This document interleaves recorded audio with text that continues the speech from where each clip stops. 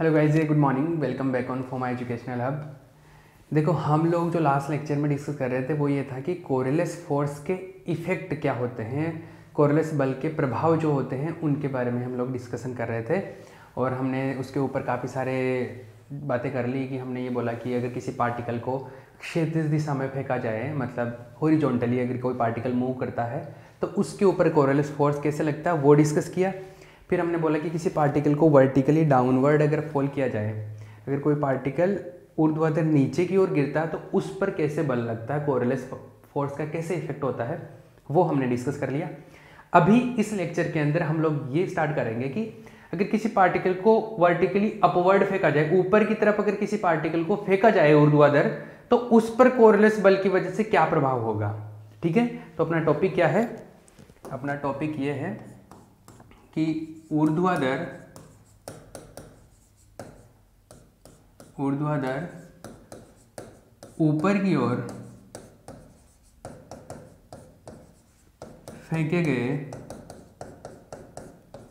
कण पर कोरियोलिस बल का प्रभाव कोरियोलिस बल का प्रभाव effect of coriolis force effect of coriolis force on a moving particle vertically upward on a vertically upward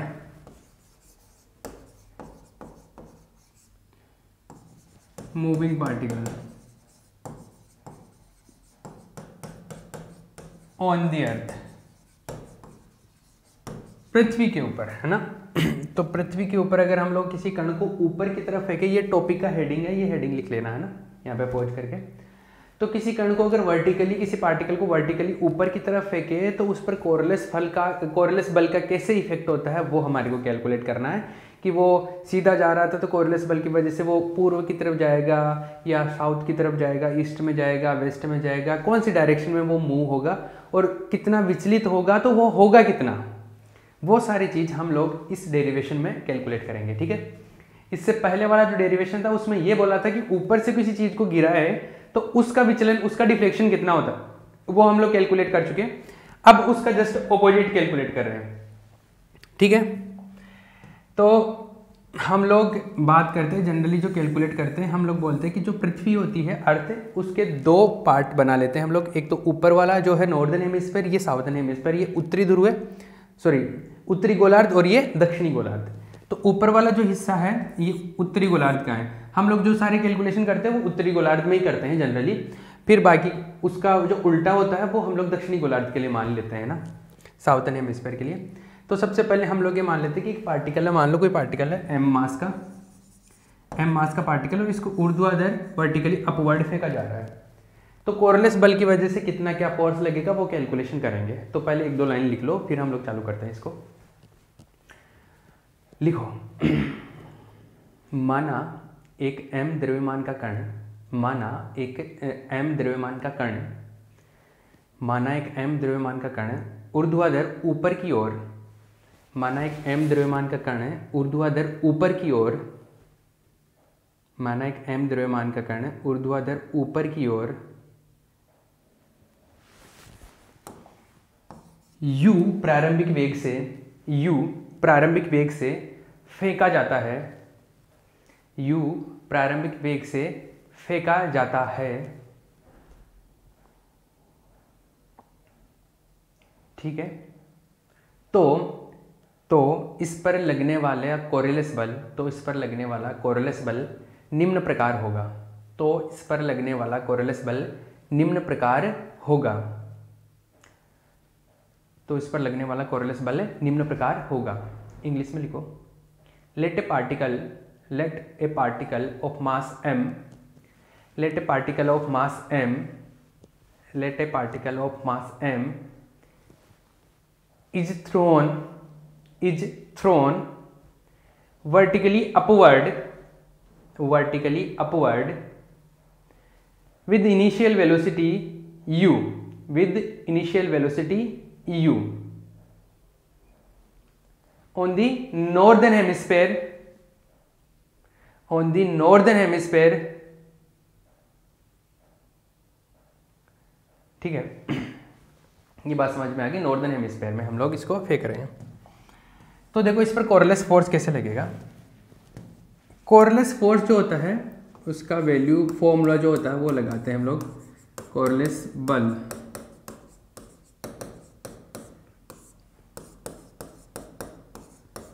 Coriolis force Coriolis force जो है उसका फॉर्मूला जो है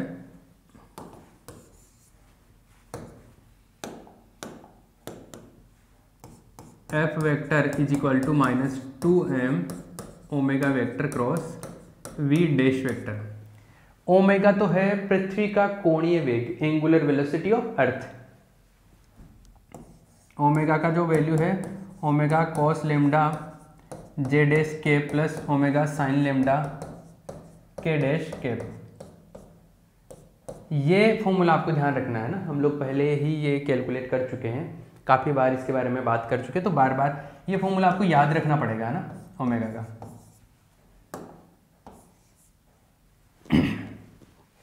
ओमेगा हो गया जो वेग है ये वीडेश वीडेश कौन सा वेलोसिटी है पार्टिकल जिस वेलोसिटी से मूव कर रहा है किसी भी टी टाइम पर उसके ऊपर उसका जो वेलोसिटी है वो है पार्टिकल का पर इसको डैश में लिखते हैं हम लोग डैश में इसलिए लिखते हैं क्योंकि हम लोग रोटेटिंग फ्रेम में देख रहे हैं घूर्णी निर्देश तंत्र में देख रहे हैं और घूर्णी निर्देश तंत्र रोटेटिंग फ्रेम के अंदर वेलोसिटी जो होता है वो डैश में लिखते हैं हम लोग तो ये डैश लगा के लिख रहे हैं क्लियर तो ये ऐसा है आगे चलते हैं वेग वेलोसिटी देखो सिंस कण का प्रारंभिक वेग कण का प्रारंभिक वेग कितना है यू है initial velocity of particle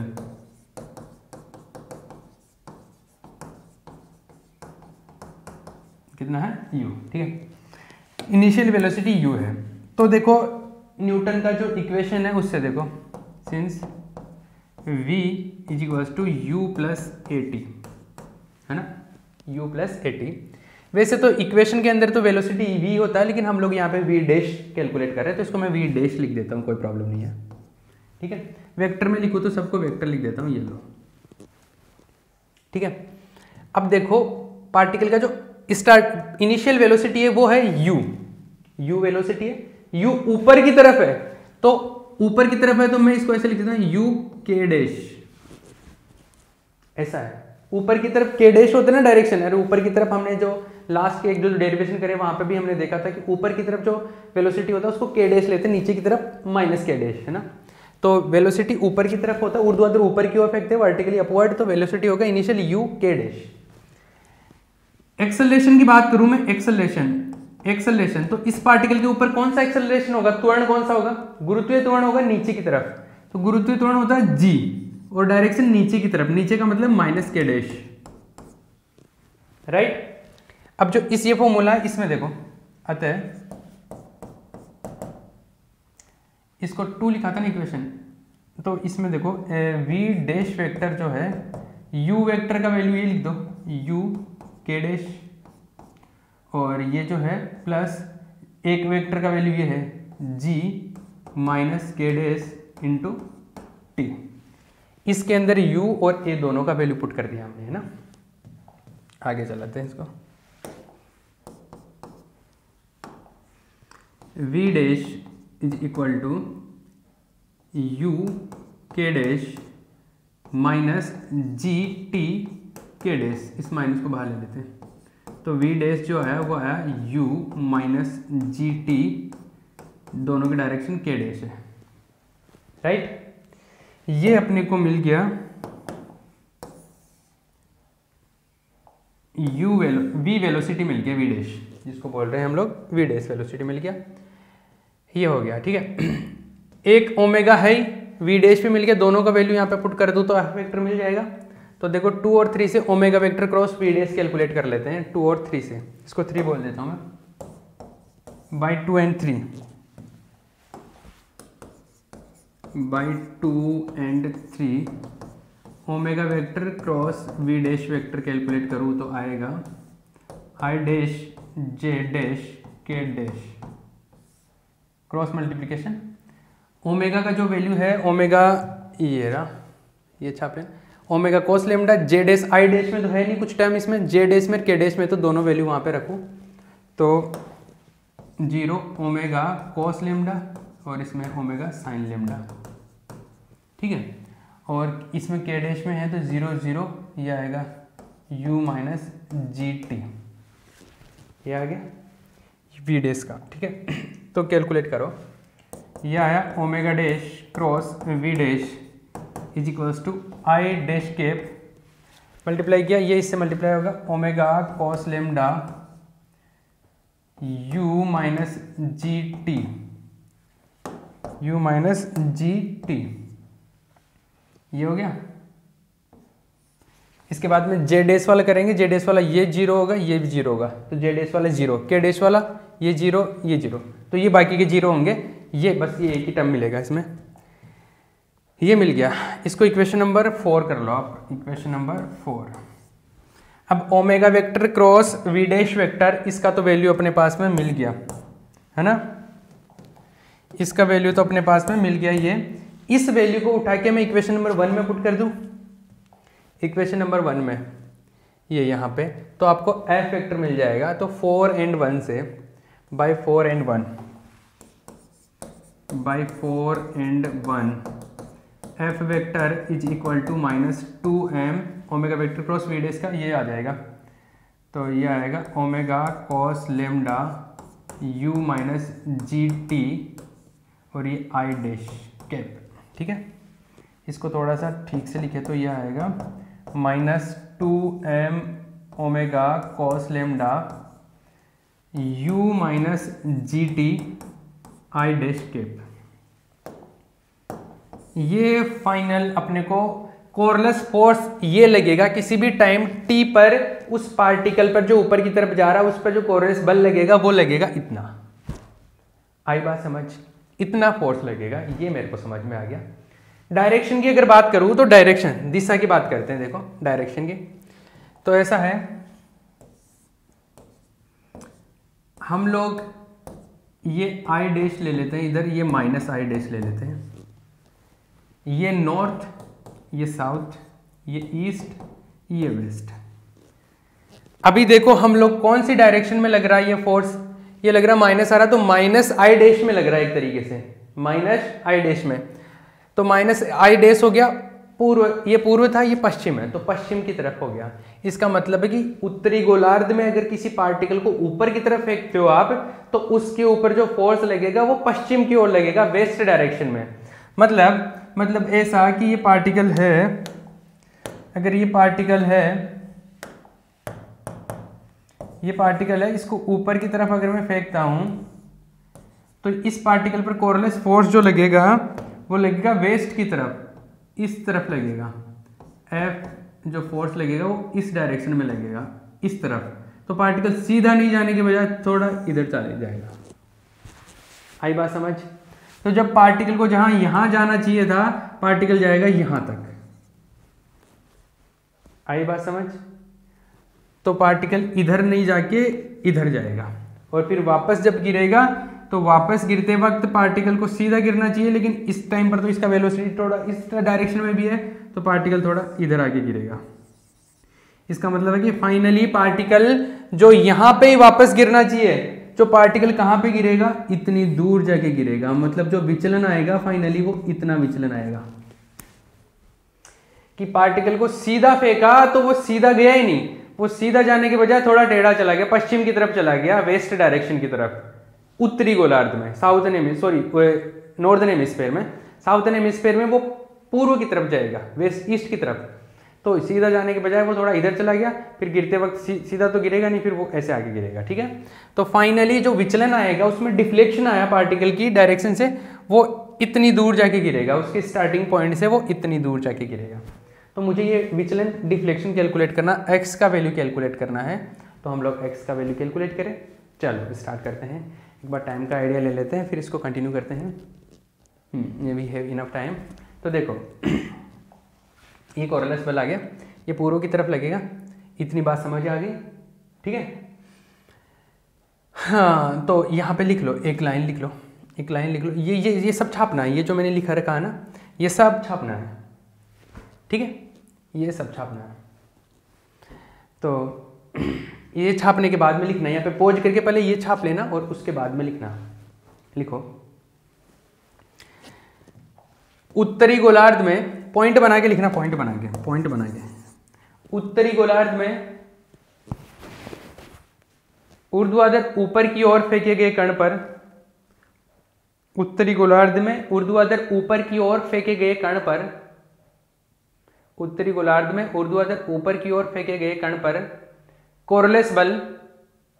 ऊर्ध्वाधर ऊपर की ओर फेंके गए कण पर कोरलेस बल कोरलेस बल पश्चिम की ओर लगेगा पश्चिम की ओर लगेगा पश्चिम की ओर लगेगा तथा दक्षिणी गोलार्ध में फेंके गए कण पर तथा दक्षिणी गोलार्ध में फेंके गए कण पर कोरलेस बल पूर्व की ओर लगेगा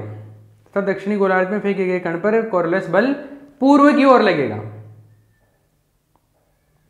ठीक है इंग्लिश में लिखो the direction of Coriolis force the direction of Coriolis force will be in west direct in west will be in West will be in west, will be in west. If particle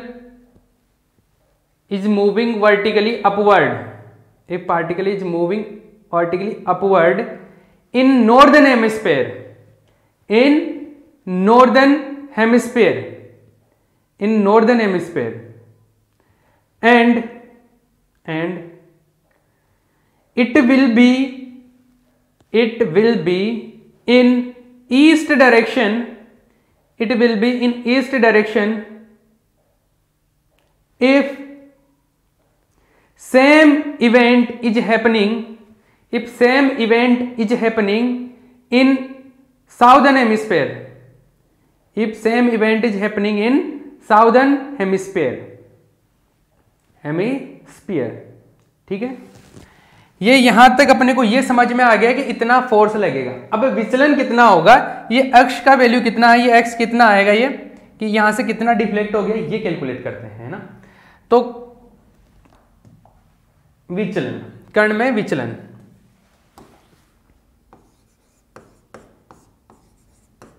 कर्ण का विचलन deflection deflection in the particle इसको x represent कर रहे हैं हम लोग ठीक है विचलन देखो सबसे पहले तो Coriolis force since f is equals to ये है minus two m omega cos lambda u minus g t minus two m omega cos lambda u minus g t m भी था ना इसके अंदर हाँ एम भी है देखो ये माइनस तो ये ये शो कर रहा है कि पश्चिम की दिशा में अगर हम केवल मैग्नीट्यूड लिखे ना केवल मैग्नीट्यूड केवल मैग्नीट्यूड तो हमारे को माइनस लिखने की ज़रूरत नहीं है इतना ठीक है चलो क्योंकि हमारे को पता है कि पश्चिम में जा रहा है अब मैं दिशा की बात नहीं कर रहा अब मैं डायरेक्शन को पता नहीं कर रहा डायरेक्शन तो पता चल गई लेकिन अपने को ये पता करना है अभी कितना जा रहा है वो कितना मीटर है कितना सेंटीमीटर है कितना डिफ्लेक्ट हो रहा है वो कैलकुलेट करते हैं तो देखो मैं इसको ऐसे लिख सकता हूँ एम इंटू ए बल को ऐसे लिख सकता हूँ बल को एम ए लिख सकता हूँ और ए को लिख सकता हूँ d v by d t और ये है two m omega cos lambda u minus g t right m से m will cancel out m will cancel out with m ठीक है तो d v by d t बचा अपने पास में और ये होगा omega two omega cos lambda u minus g t इसको मैं ऐसे रख लेता हूँ डी वी और इधर आ जाएगा two omega cos lambda u minus g t d t ठीक है बहुत सारे इंटीग्रेशन कर दूँ क्या दोनों तरफ इंटीग्रेशन करने पर इधर भी इंटीग्रेशन इधर भी इंटीग्रेशन अब देखो integration two omega cos lambda इसको तो बाहर ले लो क्या फर्क ये सारी चीज तो कॉन्स्टेंट है इधर इंटीग्रेशन होगा तो v आ जाएगा इधर इंटीग्रेशन होगा तो टू ओमेगा कोस लेमडा ये तो आ गया बाहर ठीक है और इधर आया u minus G T into D T अब इसका इंटीग्रेशन कर लो आप इसका इंटीग्रेशन करोगे तो टू ओमेगा कॉस लेमडा इसका इंटीग्रेशन आएगा U T minus G T square by two इसका इंटीग्रेशन किया तो यू टी हो गया और इसका G T square by two right इसमें लिमिट तो है नहीं है ना अपने पास में लिमिट तो है ही नहीं तो अपन लिमिट तो है नहीं है तो लिमिटलेस इंटीग्रेशन है तो इसको कॉन्स्टेंट ले लो सी वन ठीक है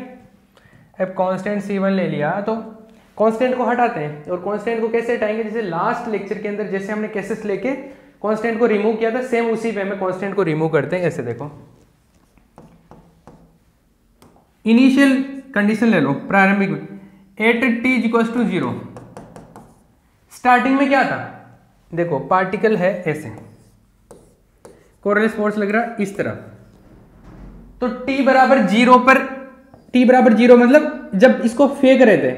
उस टाइम पर क्या इस डायरेक्शन में कोई वेग का घटक था नहीं क्योंकि जिस टाइम स्टार्टिंग में जब फेंक रहे थे उसको स्टार्ट किया था तब तो पार्टिकल केवल ऊपर की तरफ जा रहा था तब इधर नहीं जा रहा था तो स्टार्टिंग में इस तरफ वेग का कोई कंपोनेंट नहीं था इस तरफ वेलोसिटी था ही नहीं मतलब in t equal to zero time पर इस डायरेक्शन में वेलोसिटी कितना था जीरो तो टी इक्वल टू जीरो पर इस डायरेक्शन में वेलोसिटी है zero t equal to zero v is equal to zero ठीक है तो ये होगा तो रखो वी आ गया zero two omega cos lambda zero minus zero t का वैल्यू टी का वैल्यू जीरो कर दिया तो आ गया सी वन तो ये तो सारा हो जाएगा जीरो तो सी वन क्या हो गया सी वन आ गया जीरो सी वन जीरो आ गया कॉन्स्टेंट हटेगा ना कॉन्स्टेंट का वैल्यू पता चल गया तो सी वन का वैल्यू जीरो पुट कर देंगे तो ये क्या मिलेगा आता है v is equal to two omega cos lambda u t minus g t square by two किसी के दिमाग में ऐसा हो कि सर स्टार्टिंग में तो वेलोसिटी यू था ना हाँ वो था इनिशियल वेलोसिटी था लेकिन वो था ऊपर की तरफ अभी हम क्या कैलकुलेट कर रहे हैं हम कैलकुलेट कर रहे हैं ये इतना विचलन ये जो विचलन है ये डिफ्लेक्शन है ये कैलकुलेट कर रहे हैं ये x का वैल्यू कैलकुलेट कर रहे हैं तो x का वैल्यू कैलकुलेट किसकी वजह से कोरलेस फोर्स इस डायरेक्शन में लग रहा है तो उस फोर्स वाले जो इक्वेशन से हम लोग लेके आए हैं तो वो जो वेलोसिटी आया है वो भी इस डायरेक्शन में आया है वो वेलोसिटी ऊपर वाला नहीं है ऊपर की तरफ तो इनिशियल वेलोसिटी u है लेकिन इस डायरेक्शन में इनिशियल वेलोसिटी जीरो है स्टार्टिंग में इस तरफ कोई भी वेग नहीं था तो हम लोग जो कैलकुलेशन कर रहे हैं इस डायरेक्शन की कर रहे हैं अभी इधर की कि इस तरफ कितना चला गया तो इस डायरेक्शन का वेलोसिटी आ रहा है इस डायरेक्शन का डिस्प्लेसमेंट आएगा तो ये जो वेलोसिटी है वो इस डायरेक्शन का है और इस डायरेक्शन में स्टार्टिंग में वेलोसिटी जीरो था ठीक है क्लियर ओके तो ये है v इज इक्वल टू ये अब देखो ये तो मिल गया वेलोसिटी पर मुझे तो वेलोसिटी नहीं मुझे तो x का वैल्यू डिस्प्लेसमेंट कैलकुलेट करना है तो इसको ऐसे लिखो dx x by d t two omega cos lambda u t minus g t square by two right okay